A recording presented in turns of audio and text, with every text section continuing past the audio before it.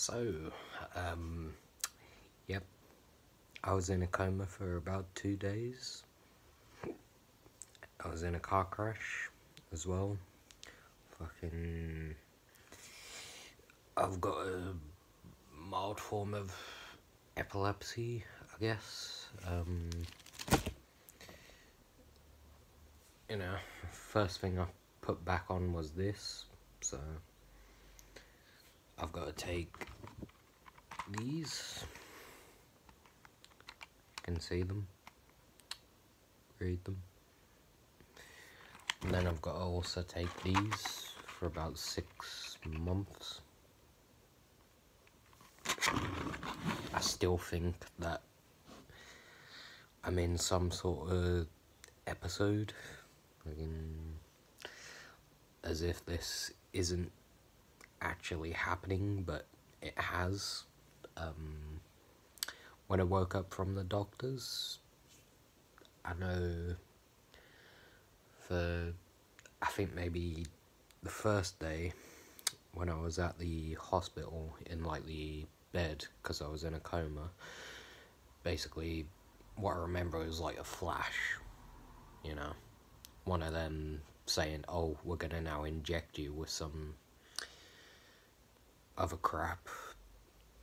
Um, what I also remember is uh, taking my other half to work and them pulling over to the side where the police were and talking to the police and then being taken to the hospital as well and apparently I had a seizure as well so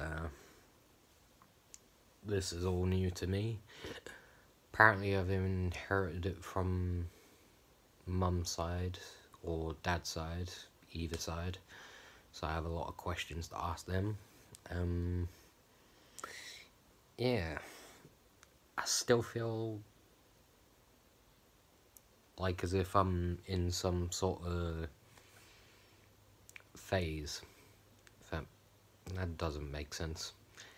I still feel like this hasn't happened, even though it has, and my car's a write off, basically, apparently. So, shit luck there. Um, my tastes have changed. Um, I've liked Fruit Loaf now, which is a bit weird, and tuna as well. Because whilst I was at the hospital, they gave me like tuna sandwich and stuff like that, and people who actually know me, I hate fish. You know, I hate tuna. I hate the taste of it. It's just nasty. Um, I've still got my sort of like jewelry in there in like the bag anyway as well I'm not really sure what to say from this experience to be honest like you know I'm glad I've came out of it but I don't know if it actually has happened in some sense even though I know it has and it might be down to the amount of times that I've cracked my heads, cracked my head as well. So, could be down to that. I did have a couple of doctors, um, neurologists come and examine me and, you know, try to give me like a sort of thing of how I was, what happened, why it happened. Um, this is all in like the first month of living in the new house as well, Rose Hill. So, yeah. Not really sure what to make of it, to be honest. Like, I'm actually kind of lost at this point. Like, I don't think it's actually happened until I've seen it happen or I've seen like CCTV footage of it happening, you know. And if I'm gonna be honest, I'm glad that I've come out of it, but at the same time, I'm like, what the fuck? you know, has actually happened. Um, sorry for the lighting for the video. It's just down to the fact that uh, epilepsy. I remember my mate's brother Connor. Yeah, Corey. My mate's uh, brother Connor. He had it, and it was down to like the lighting and stuff like that, and it causes a, lot of st stress and everything as well. Might be down to the fact that I work with computers, so could be that. Um, yeah, I'm not really sure what to make of it, apart from the fact that you know it's a lot to take in. You know, I've been in a coma for about two days, and you know, my other half apparently she came and saw me for a bit as well, but she was in the accident as well, so she sort of, you know, was a bit in and out of it, if that makes sense. So, yeah, I fucking hate myself for what actually happened as well. Um, you know, I can't believe it actually has happened. And all whilst I was driving.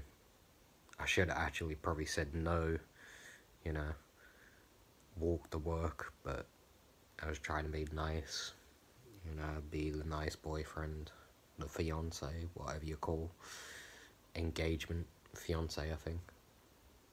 Yeah. Um, I'm actually, I've got a lot of questions for either my mum's side or my dad's side. You know, either one. Because apparently it's inherited through. So one of them hasn't really been communicating with me well. Which I gather is my mum. Um, yeah, a strange thing as well. I've taken a taste to blackcurrant. So.